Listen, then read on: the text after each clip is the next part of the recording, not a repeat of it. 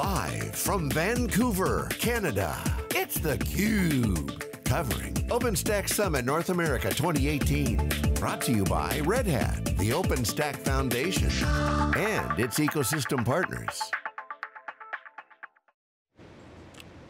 Welcome back to theCUBE's coverage of OpenStack Summit 2018 in Vancouver. I'm Stu Miniman with my co-host, John Troyer. Happy to welcome back a, a, company we've spoken to a few times at, at events, Paddy Power Betfair. First time guests coming to us from across the pond.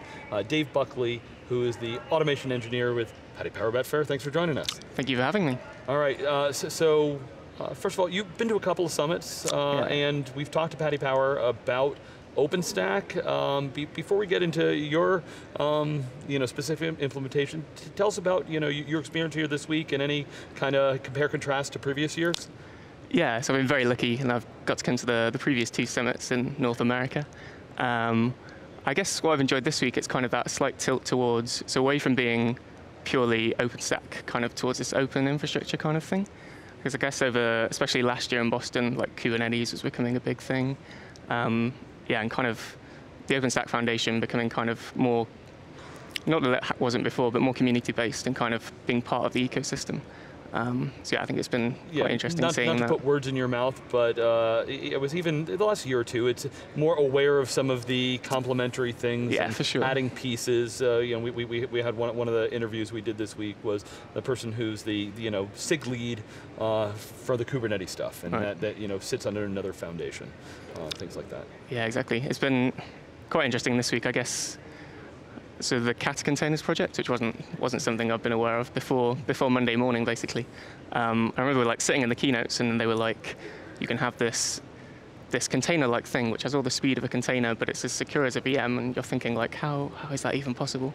Um, so I've really, yeah, really enjoyed. I got to go to one of the sessions yesterday, like one of the technical introductions on that. Yeah, I, I always love. There's certain. It's like there's certain things where okay, this is what I'm going to do with my schedule, and turns mm. up this got announced or I didn't know about this and you know blow up my schedule, let me change everything else. Yeah, exactly. I think you always you just can't you have to be flexible, right? Adaptable and as the week goes on you just go to what go to what you think is interesting. Yeah.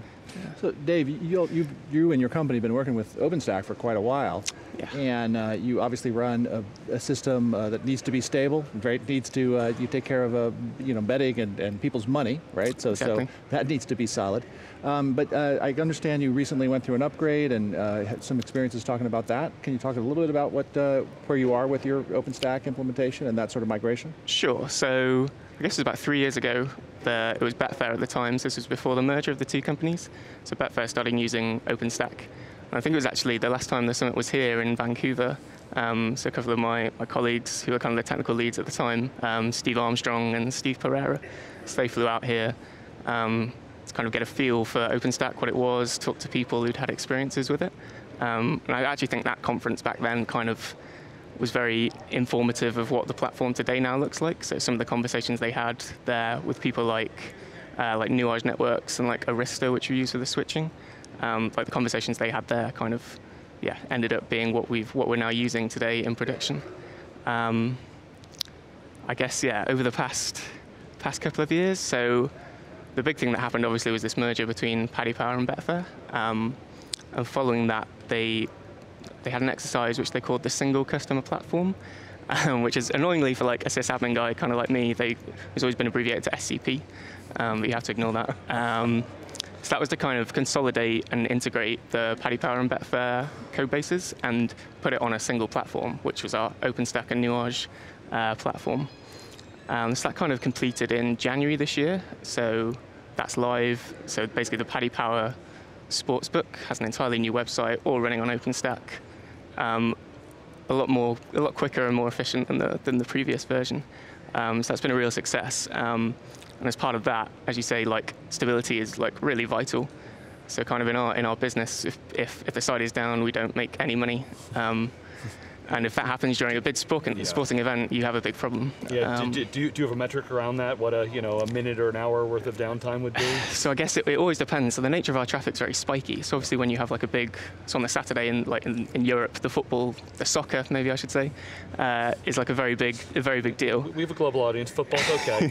okay, I'll stick with football. The royal wedding. I'll stick with, yeah. I don't want to talk about that. um, so things like the yeah the football if, if you that's we just get peak traffic on that day. And even within a year, there's a thing called the Grand National, which is a big big event in the UK, big horse racing, I guess like the Kentucky Derby. Um, it's kind of when we get our absolute maximum traffic in the year. So yeah, you kind of you, you always need to be prepared for that. Um, so one of the things, as you mentioned, we were kind of looking to upgrade OpenStack from Kilo to Newton. So we've been on Kilo from the start. We're, we're using Red Hat's distribution of OpenStack. So what Red Hat offer is this. Uh, they have like every three releases, I think it is. They have this long release life cycle. So that's the reason kind of we're going to Newton because we have kind of the. I think the support will go to like 2021. Um, but if, if I remember right, it, it's Red Hat, the OpenStack platform 10. Yeah. Uh, and 13 is going to be Queens as their next. Exactly. Uh, so I think they just just they just announced that this week, right? Um, so I think we would at some point over the next, I don't know, who knows when year or two we'd be going to Queens. Yeah. How do you how do you determine when you make that jump and uh, anything around the upgrade process, you know, good and bad that you you could share? Yeah. So I guess going from we, we were overdue an upgrade in this case. Um, Kilo is you know pretty old now. Um, what we're lucky that we can do is because we have Nuage as like a, an external SDN provider. So the entire data plane is controlled by Nuage, and you can kind of plug as many OpenStacks as you like really into Nuage, and you offload all the networking to, to Nuage. Um, so what's that allowed us to do is basically we'd have, we'd have had a lot of trouble if we'd had to do a, an in-place upgrade. So I've actually been to one of the one of the, the, the groups this week where people were talking about upgrades and just like all the nightmares it's caused. I know it's getting better as like as you know the, the releases come out.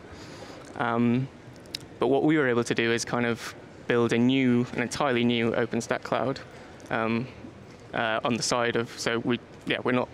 We, we've turned it kind of immutable OpenStack. So your OSP7 cloud is there. We built this new OSP10, but they both hook into the same networking, so the same Nuage SDN. And we have the way our developers deploy their applications. Um, I guess you want to see this in more detail. We've done presentations at these summits in the past. But kind of in short, every deployment, we do immutable deployments as well. So every deployment will create a new subnet within Nuage um, and kind of do a rolling update of, of, of your VMs that are on that new subnet into like a VIP, which is kind of where the that's where the constant is. So all the traffic's coming to that VIP, and you just flip things in and out below it when you do a deployment. So what that basically means is, from a developer's point of view, when they're migrating from OSP7 to OSP10, um, they'll essentially spin up new networks and new VMs in OSP10, and that deployment pipeline will kind of just seamlessly, everything else will stay the same because the networking doesn't change.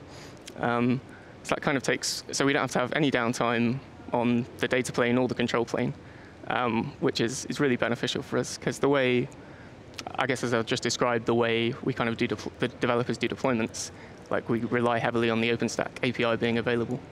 Um, so yeah, you pay a cost in that you, so you need extra hardware to be able to do that, I guess. Um, but yeah, we found it. It's, really it's nice. something that's worked for us. Great. Uh, anything else with the networking uh, specifically that you all are running in terms of uh, the load balancing or resiliency that you, you need to have for your apps? Yeah, so one of the things was, so it's kind of another problem they were trying to solve with this whole project, this new OpenStack platform, is that historically Betfair, as it was at the time, had always run out of a single data center. Um, but we kind of had, we had another site, but it was mainly kind of development environments running there. Um, so kind of the company thought, well, why don't we just have, we should have like both DCs for resiliency, try and run things in like an active-active configuration. Um, which is kind of fine for kind of external, kind of customer-facing applications where we kind of had a, an external load balancer that can point traffic between the two DCs. Um, but then the question is, like, what do you do with internal apps? Um, so this is what led us to use so Avi networks, which is kind of a, I guess I call it a cloud, a cloud, cloud native load balancing technology. Um, so we've been using that for kind of to provide like GSLB for internal apps. So basically we'll load balance traffic between the two data centers. So you kind of have it, it gets deployed within your OpenStack environment, has a really neat integration with Nuage, the Nuage SDN layer, um, and will resolve you to whichever data center is appropriate at that time. So if you have, if you had a full data center outage, Avi should just be able to go, okay, point so stuff over guys, there. that makes the makes you and the networking team or the IT team into the into the heroes, not the villains. You're, you're usually the people saying no, or we can't do that. I guess so. I guess so. Yeah, you're probably right. Um, it's cool technology though. Um, I guess we're, we're very lucky in that we kind of we, we're given the opportunity by the by the people at the company to kind of experiment with new things. Um, so even though we're, we're always we're about stability, but we're also about kind of trying to push things forward in terms of what technologies we're using. D- Dave, I'm- I'm, I'm curious how kind of the hybrid or multi-cloud uh, type of environments fit into what you're doing today. Give, it, give us the update uh, there. Yeah, so that's something very much on our radar at the moment. I guess it's yeah, it's kind of what everybody's doing, looking looking to how you can have this kind of hybrid cloud model.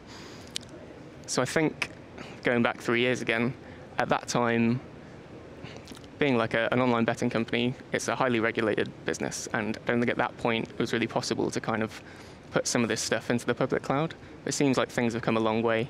Um, so it's something we're kind of looking at in the minute at the moment is kind of we're evalu- evaluating different solutions, different vendors like the Googles, AWSs, and seeing, or even like some OpenStack public clouds, and seeing maybe how could we migrate some workloads out into the public cloud? How do we want to do that to give us kind of bigger, resilient, more resiliency? And also, as I was saying about kind of our spiky traffic, it just makes a lot of sense to be able to say burst out into whichever public cloud vendor when on a Saturday when the football's on, um, so to kind of deal with that peak load. Um, so it's something that we're yeah we're very much looking at at the moment. Um, but yeah, no no formal decisions as of yet, unless they've done something while I've been away. Uh, with containers uh, here at the show, right? Lots of different uh, Mm. threads, right? Containers, uh, Edge, uh, the, the, the, the Open Dev uh, track, and things like that. Anything else? In, you, we talked about Kata. Anything else that came up uh, that was interesting here, or that, that you just watching the Kubernetes and, and container uh, track as well? Um, so I guess in, ter- in terms of containers, it's and sitting in the key, sitting in the keynotes on Monday, you would if you weren't if you weren't watching, if you were just listening, you probably wouldn't know you were at an OpenStack summit, right? Because there's as much kind of Kubernetes container stuff as as there is OpenStack. Um, it's interesting. So we've kind of been doing. Again, similar to kind of the public cloud conversation, it's something that's very relevant to us at the moment. We've done kind of a few proof of concept ideas, evaluating different solutions. So we have like running kind of a kube a kube cluster ourselves. Obviously, we have a strong relationship with Red Hat, so that we've kind of explored using OpenShift maybe. Um, and then kind of the networking layer, you can kind of integrate with Nuage, which would be really cool for us. So it allows to do kind of the all the networking and like the access control mechanisms, like as we do for virtual machines. Um, and again, this is also something in the in the whole public cloud conversation is where if we wanted to do containers in the public cloud as well, like you, you have all the different offerings, would we want to like run our own uh, in like an AWS or something, or maybe go to someone like Google where you kind of have that supported uh, self-service model, I suppose. Um, but yeah, at the moment it's kind of it's at, it's at those stages. I think I think Steve did a presentation on the Kubernetes stuff, at, like a, a POC we'd done at the last summit. Um, but yeah, it's still it's still at the moment. Still want to make some firm decisions about like which direction we're going to go. But a lot of the developers um, are very keen for this naturally, and obviously like infra guys like us also we all know the value of it. So I think in, I think at the moment because we've had that focus on stability, we should now have a period of time where we're able to kind of look at all this stuff a bit more, kind of hopefully yeah get some container solutions into production, which would be awesome. Well, Dave Buckley, really appreciate you giving us the update. Uh, love to be able to do some of those longitudinal case studies as to where you've been, where you're going, what you're thinking about. Uh, be sure to check out thecube.net. You can actually search for uh, Paddy Power Betfair, see some of those previous interviews from, from, from Dave's peers. Uh, loads more interviews there, as well as all the shows we're going to be at in the future, where hope you come by and say hi. For John Troyer, I'm Stu Miniman. Thanks so much for watching theCUBE.